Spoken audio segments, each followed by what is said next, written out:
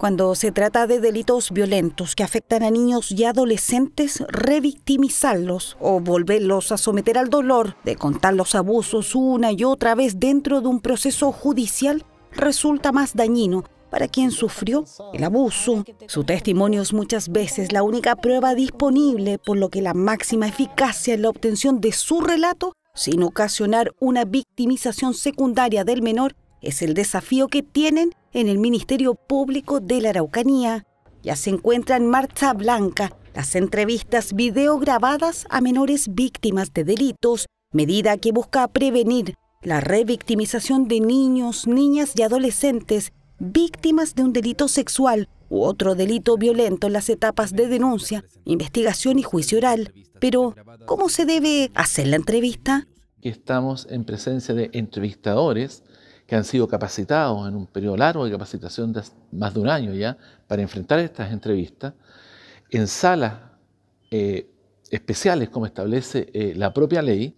Hasta el día de hoy, por ejemplo, una víctima de estos delitos graves o una víctima, un menor de edad, víctima de un delito sexual, era entrevistado y revictimizado en diversas oportunidades.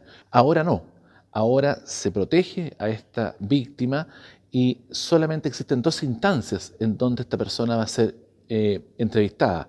En la Araucanía a la fecha se han realizado nueve entrevistas investigativas videograbadas a menores de edad, víctimas de delitos sexuales en las fiscalías de Temuco, Angol y Victoria, con estándar y protocolos exigidos en la ley, en salas acondicionadas para lograr el testimonio, resguardando siempre la dignidad de la pequeña víctima. En el caso particular eh, y el día de hoy, eh, entrevisté a, un niño de 12 años y creo que eh, logré el objetivo de la entrevista en cuanto a obtener información y también logré el objetivo de que el niño eh, se sintiera cómodo, estuviera totalmente protegida su identidad y su dignidad.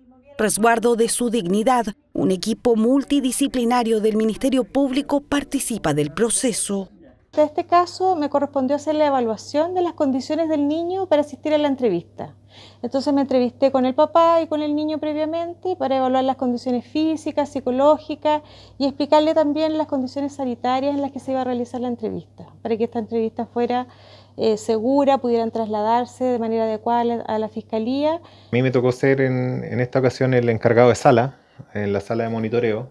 Lo que me tocó básicamente hoy día, antes de la entrevista, fue hacer las pruebas para que todos los equipos funcionaran, eh, hacer todas las tareas que indica el checklist y verificar que, que la sala de abajo y acá arriba y los equipos estén funcionando para, para la entrevista.